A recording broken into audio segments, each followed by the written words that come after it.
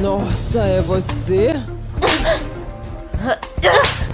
Tem vergonha. Fala logo o que, que você quer. Você acha que conseguiu o que queria, está muito enganada. Fala logo o que, que você quer.